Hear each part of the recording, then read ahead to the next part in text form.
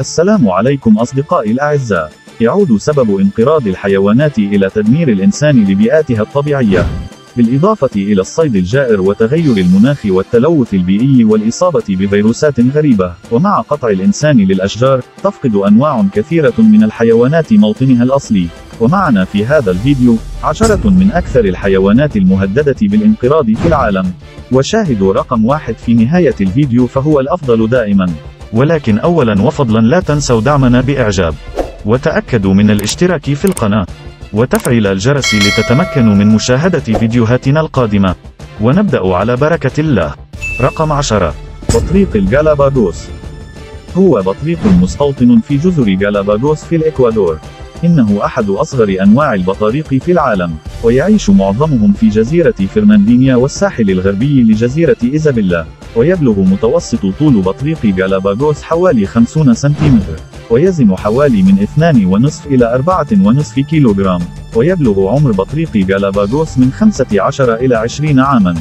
وبطريق جالاباغوس يأكل الأسماك الصغيرة خاصة البوري والسردين. وعادة ما تكون أعشاشهم في الكهوف والشقوق. وذلك كحماية ضد الحيوانات المفترسة والبيئة القاسية.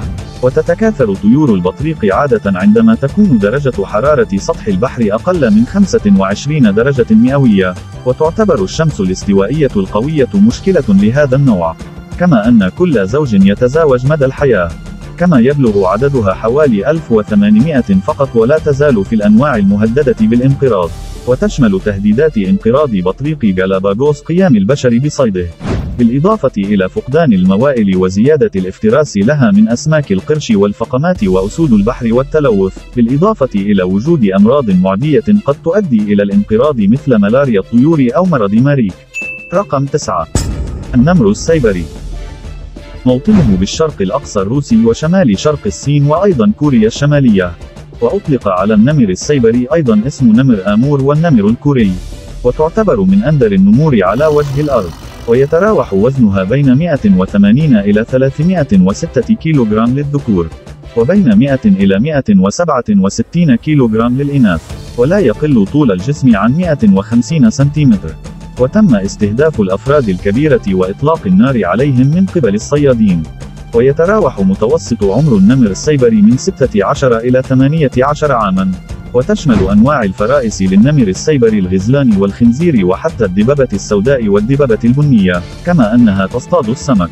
وفي الماضي بعد تفكك الاتحاد السوفيتي، سهلت إزالة الغابات غير القانونية الصيد الجائر لنمور سيبيريا، وهذا ما عرض مرة أخرى النمور في المنطقة لخطر الانقراض. كما يعتبر الصيد الجائر للنمر السيبري وفرائسه سببا في انخفاض عدده، ونادرا ما يصبح النمر السيبري من آكل لحوم البشر. وتم تسجيل حالات عديدة من الهجمات على البشر في القرن التاسع عشر.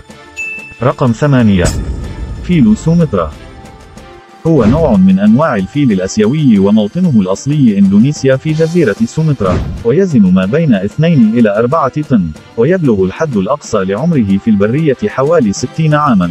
كما تتوقف إناث الأفيال عن التكاثر بعد سن الستين، وتلد غالبا في الليل وتستمر حوالي عشر ثوان، ويستطيع الفيل الصغير الوقوف من تلقاء نفسه من عشرة إلى ثلاثين دقيقة، وقام الاتحاد الدولي لحفظ الطبيعة بترقية حالة الحفاظ على فيل سومترا، وذلك من المهددة بالانقراض إلى المهددة بالانقراض في القائمة الحمراء، حيث انخفض عددها بنسبة 80% على الأقل، وذلك بسبب الصيد الجائر وتحويل الغابات إلى مستوطنات بشرية، والذي أدى إلى فقدان موائل العديد من أفيال سومترا. رقم 7 سلحفاة منقار الصقر. هي سلحفاة بحرية مهددة بالانقراض. توجد سلاحف منقار الصقر غالبا في الشعاب الاستوائية في المحيط الهندي والهادئ والأطلسي، وتنمو سلاحف منقار الصقر عادة بطول متر واحد، وتزن حوالي 80 كيلوغرام، وعلى الرغم من كونها آكلة اللحوم، فإن الإسفنج البحري هو طعامهم الرئيسي، كما تتغذى على الطحالب والنباتات البحرية وقناديل البحر والأسماك، كما أنها شديدة السمية للكائنات الحية الأخرى، كما تتغير ألوان منقار الصقر قليلا وذلك اعتمادا على درجة حرارة الماء. وأصبحت سلحفاة منقار الصقر مهددة بالانقراض، وذلك بسبب اصطياد البشر لها، ففي بعض أنحاء العالم تؤكل سلاحف منقار الصقر كطعام شهي. كما تستخدم العديد من الثقافات أيضا أصداف السلحفاة للزينة. فيتم اصطياد السلاحف من أجل قوقعتها الجميلة منذ العصور القديمة.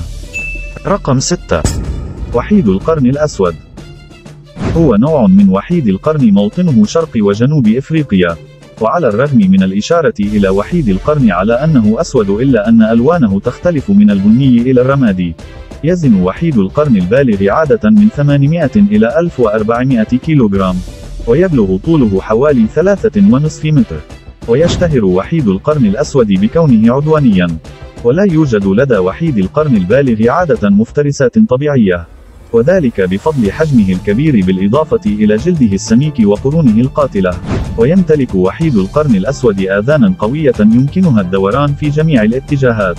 والتي تسمح باكتشاف الصوت عبر مسافات شاسعة. كما أن وحيد القرن الأسود من الأنواع العاشبة. فهو يأكل النباتات الورقية والفروع والبراعم وشجيرات الأخشاب والفاكهة. ويمكنهم العيش لمدة تصل إلى خمسة أيام بدون ماء أثناء الجفاف. ويعتبر الصيد غير المشروع من أجل تجارة قرون وحيد القرن هو التهديد الرئيسي. وغالبا ما كان الصينيون القدماء يستخدمون قرون وحيد القرن لصنع أكواب النبيذ. وكذلك جلود وحيد القرن لتصنيع التيجان الإمبراطورية والأحزمة ودروع الجنود.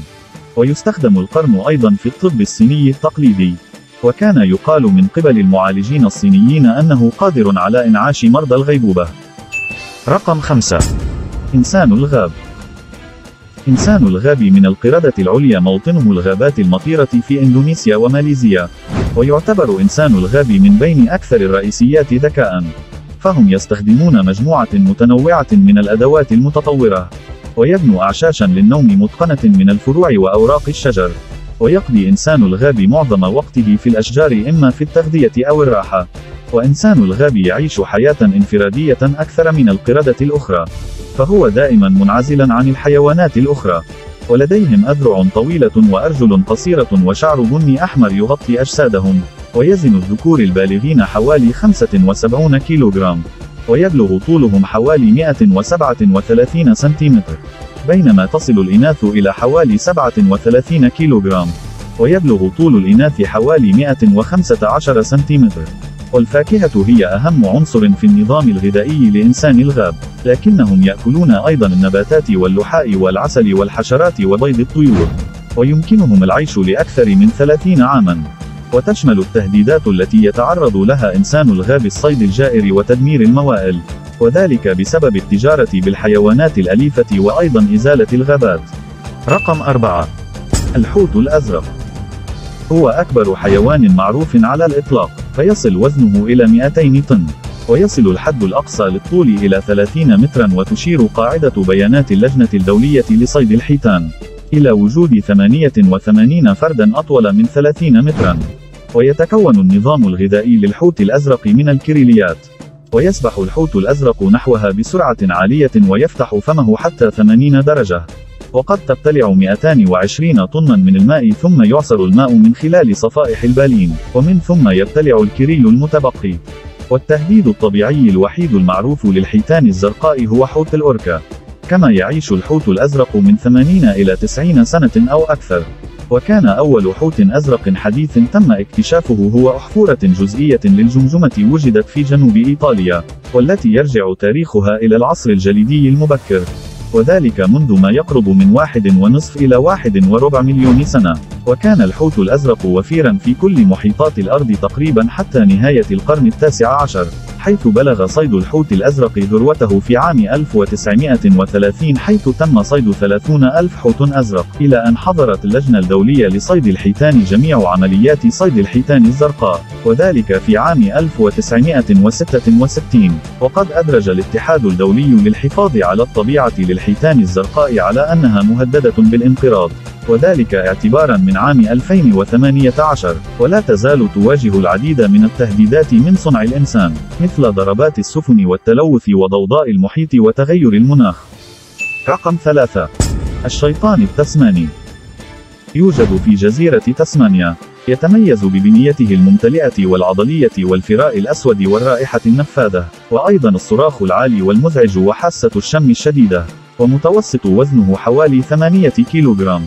وهو قادر على التحمل والسرعة المدهشة، كما يمكنه تسلق الأشجار والسباحة عبر الأنهار، ويمكن أن تصل سرعته إلى 13 كيلومترا لكل ساعة، ويمتلك الشيطان التسماني أقوى عضة بالنسبة إلى حجم الجسم. كما يقاتل الذكور بعضهم البعض من أجل الإناث، وتلد الإناث من 20 إلى 30 صغيرا بعد ثلاثة أسابيع من الحمل، ويتسم المولود الجديد باللون الوردي ويفتقر إلى الفراء ويزن أقل من ربع جرام، ونظرا لوجود أربعة أماكن فقط فإن المنافسة بينهم تكون شرسة، وبالتالي يبقى عدد قليل من حديث الولادة على قيد الحياة. ويمكن أن تأكل الشياطين البالغة صغارها إذا كانوا جائعين، وعلى الرغم من أنه يمكن ترويضهم إلا أنهم غير اجتماعيين ولا يعتبرون مناسبين كحيوانات أليفة، وقليل منهم من يعيش أكثر من خمس سنوات وسبب اختفائها غير واضح، وقد أدى مرض ورم الوجه الشيطاني إلى خفض أعدادها بشكل كبير، بالإضافة إلى الصيد من قبل الناس وتغير المناخ. رقم 2 نمر الثلج. نمر الثلج موطنه سلاسل الجبال في وسط وجنوب آسيا وجنوب سيبيريا، وهو قصير الأرجل وأصغر قليلا من النمور الأخرى. ونمر الثلج من آكلات اللحوم ويطارد فريسته بنشاط، وأنواع الفرائس البرية المفضلة لديه هي الأغنام والماعز البري، كما أنها تفترس الماشية والخنزير البري. ولم يتم الإبلاغ عن مهاجمة البشر كما يتم إبعادهم بسهولة عن الماشية. وتبلغ فترة حمل الإناث من 90 إلى 100 يوم. وتكون عادة من اثنين إلى ثلاثة أشبال ويعيش نمر الثلج عادة لمدة تصل إلى 18 سنة، وتم إدراجه في القائمة الحمراء للاتحاد الدولي لحفظ الطبيعة، وذلك لأن عددهم يقدر بأقل من عشرة آلاف فرد ناضج، ومن المتوقع أن ينخفض حوالي 10% بحلول عام 2040. ويتمثل التهديد الرئيسي لنمر الثلج الصيد الجائر والإتجار غير المشروع بالجلود وأجزاء الجسم. بالإضافة إلى تدمير الموائل. ويحكم على الصائد بالسجن لمدة من ثلاث إلى سبع سنوات. لقد وصلنا إلى رقم واحد وهو الأفضل مع قناة صحي ذهنك. ولكن أولا تأكدوا من الاشتراك والإعجاب للحصول على المزيد من مقاطع الفيديو الرائعة. وشاهدوا ما يناسبكم من العديد من الفيديوهات المعلوماتية المتنوعة والممتازة على القناة. تشجيعا لنا لنستمر في إنشاء المزيد من هذه الفيديوهات. رقم واحد الباندا العملاقة. تعيش الباندا العملاقة في عدد قليل من السلاسل الجبلية في الصين وتتميز بمعطفها باللونين الأسود والأبيض وجسمه المستدير ويبلغ طول البالغين حوالي واحد ونصف متر. ويمكن أن يصل وزن الذكور إلى 160 كيلوغرام كما يمكن أن تزن الإناث عادة أقل من 70 كيلوغرام. وعلى الرغم من تصنيف الباندا العملاقة على أنها آكلة اللحوم إلا أن النظام الغذائي للباندا العملاقة من العشب، وتشكل براعم وأوراق الخيزران أكثر من 99% من نظامها الغذائي، وتقضي الباندا حياتها بشكل أساسي في التجوال والتغذية. ودب الباندا قد يهاجم البشر، وهذا على الأرجح يكون بدافع الغضب وليس العدوانية. وتعيش الباندا عادة حوالي 20 عاما في البرية. والباندا العملاقة من الأنواع المعرضة لخطر الانقراض، فهي مهددة بفقدان الموائل المستمر، وكانت الباندا العملاقة هدفا للصيد الجائر من قبل السكان المحليين منذ العصور القديمة والأجانب، وأيضا بسبب نسبة المواليد المنخفضة سواء في البرية أو في الأسر. وفي يوليو عام 2021 أعلنت سلطات الحفظ الصينية أن الباندا العملاقة لم تعد مهددة بالانقراض في البرية وذلك بعد سنوات من جهود الحفظ ومع عدد يتجاوز 1800 فقط في البرية. شكرا لكم أعزائي على المشاهدة. تحية طيبة لكم جميعا. ونلتقي بكم في الفيديو القادم على خير بإذن الله. في أمان الله ورعايته.